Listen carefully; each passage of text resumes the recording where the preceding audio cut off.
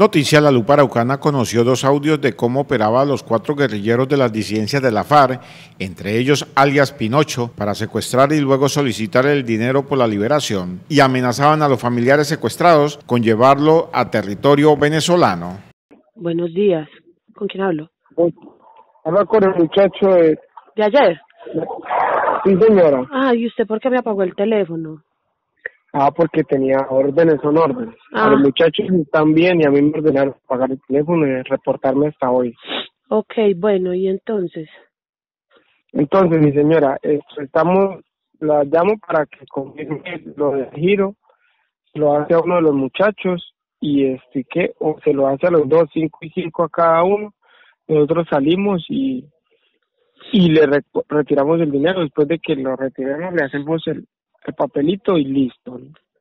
Entonces, pues la demora es suya, mi señora. La mujer que dialoga con uno de los subversivos le solicita que le pase al teléfono a uno de los familiares y le responden que en una media hora. Eh, venga, ¿y usted me los puede pasar para saludarlos? Mm, En estos momentos no. Por ahí en media hora, si quiere, yo se los paso, usted los saluda, habla con ellos.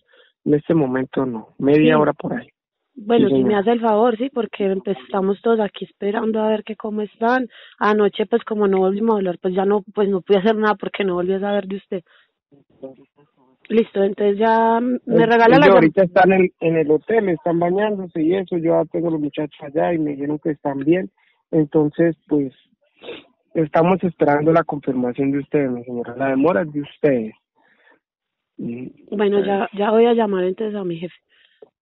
Bueno, mi señora, ¿listo? Entonces me regala la llamadita en media hora. Sí, en media hora. Pero ojalá que en media hora ya usted haya agilizado el giro para que, para que eso qué, para que sea más rápido que ellos se vayan. Sí, claro que sí, ya voy a llamar a mi jefe entonces.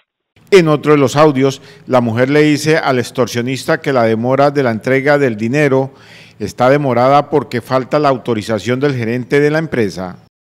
Bueno, a ver, vea, el tema está un poquito demorado porque nos toca llamar al banco para poder que nos autorice a cambiar el monto que tiene la tarjeta de retiro. Y eso pues no es así como tan fácil. Estamos llamando, lo que pasa es que el representante legal de la empresa no está en el país, entonces, y solamente lo puede hacer esa persona, ¿sí? Entonces estamos comunicándonos con esa persona para que llame al banco desde donde está para que haga el proceso de autorización, pero me tiene que regalar otro ratico mientras hacemos eso, porque en el banco tampoco es que llamen y, y activen eso de una vez. Usted me entenderá. Claro, sí, señora, yo entiendo. Sí, igual de pronto Sí. usted habló con su jefe sobre lo del monto, pues es que la verdad sí es alto. No, pues yo hablé con él sobre lo del monto, pero él dijo que menos no. La mujer preocupada le dice al extorsionista que las personas que tienen retenidas no se las vayan a llevar hacia el monte. Y ahorita que ellos dónde están en el hotel otra vez. No, ellos están por acá conmigo. Nosotros nos vamos a desplazar hacia otros lados y, y ellos van a estar acá conmigo. Pero no se los vaya a llevar por allá para el monte. No, no me los voy a llevar por allá para el monte. Bueno, me los trata bien que yo estoy acá haciendo todo lo posible, sí. Bueno, hágale, esté tranquila que ellos van a estar bien. Bueno, El extorsionista le advierte que si en una hora no han girado el dinero, las personas secuestradas serán llevadas a territorio venezolano. Eso sí, póngame cuidado, son las nueve.